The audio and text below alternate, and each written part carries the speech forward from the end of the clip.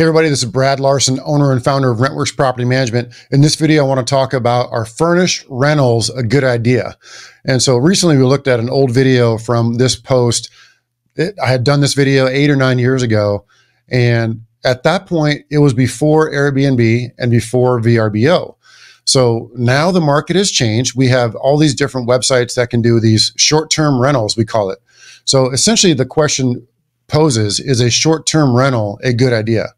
That depends. It depends on your situation. It depends on how much you are willing to spend on furniture. It depends if you yourself want to be the concierge to every little thing.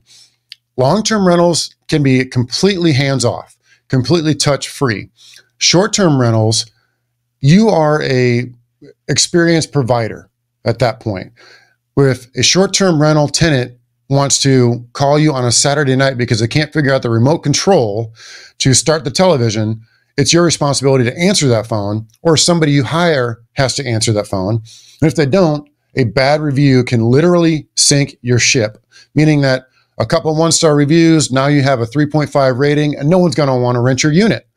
So it's very, very risky. In addition to a local city council, a local county, a state could just all of a sudden say that short term rentals are banned, short term rentals are outlawed. Dallas, Texas did this and other metros have started to follow. Or they've made it so tough with regulations that it becomes difficult and problematic to continually rent that home without going through a lot of bureaucratic red tape.